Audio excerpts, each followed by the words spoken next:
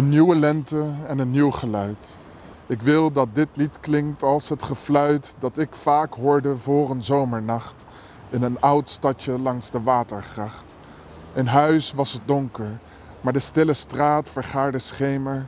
Aan de lucht blonk laat nog licht. Er viel een gouden blanke schijn over de gevels van mijn raamkozijn. Dit zijn de eerste regels van een van de beroemdste gedichten van Nederland, van een van de beroemdste dichters van Nederland. Het zijn de eerste regels van De Mei van Herman Gorter. Oké.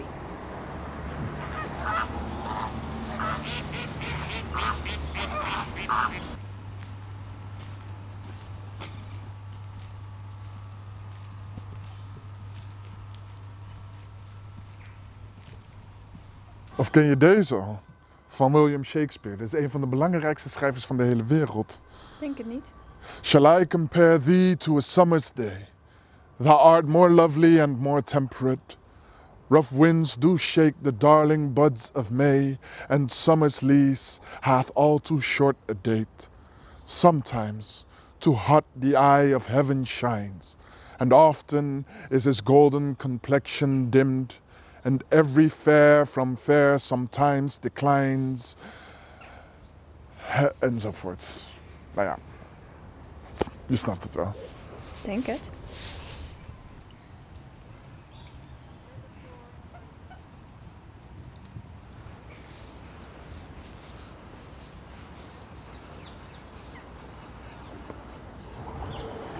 Of deze. Ik heb net zelf iets van de herfst geschreven. Het loof lost haar voorjaarsbelofte in. En ik vraag me af welke ik zelf nog na te komen heb. Zo veer ik met de seizoenswaan mee. De paden liggen klinkerloos bezaaid met de rot van dit jaargetijde. Nederland is drassig. Het donker van de avond valt hier vreemd. Ik ben nooit onschuldig geweest. Mooi. Zo brengt de herfst ons ook heel veel moois. Klopt. Oké.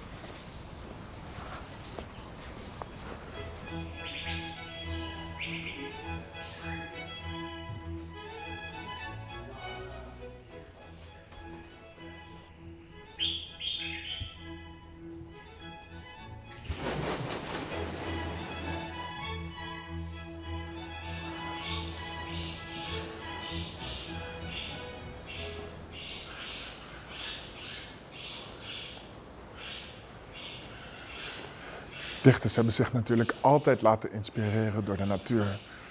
In dit geval door de vier jaargetijden. Maar, maar het zijn niet alleen de dichters of de schrijvers, het zijn de beeldend kunstenaars en de schilders. En, en de componisten, zoals, zoals Vivaldi. Oh ja. Hij, hij schreef de wereldberoemde vier jaargetijden met natuurlijk La Primavera, de lente. Kun jij horen? Of je de lente hoort, of de zomer, of de herfst, of de winter?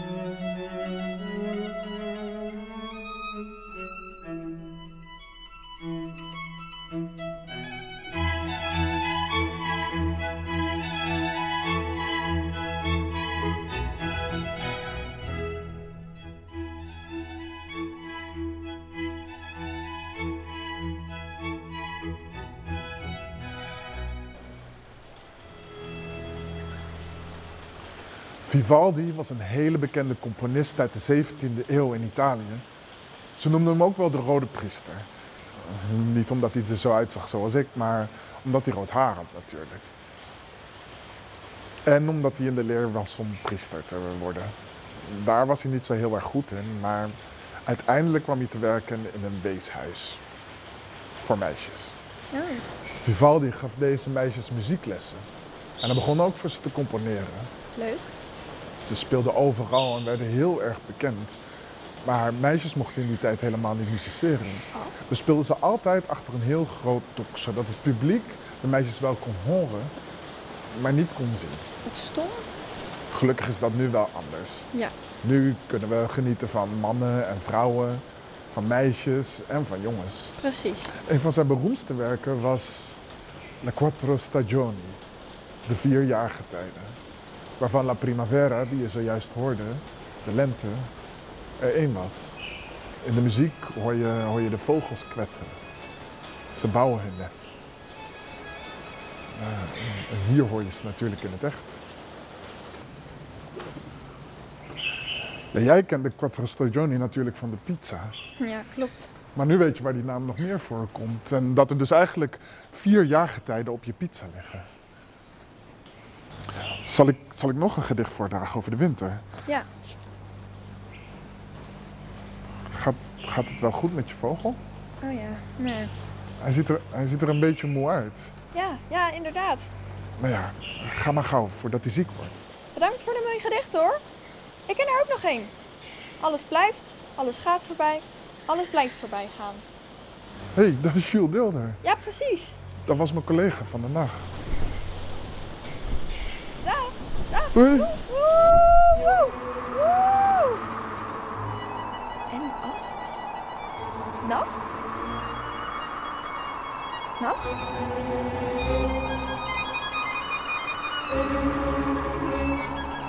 Nacht.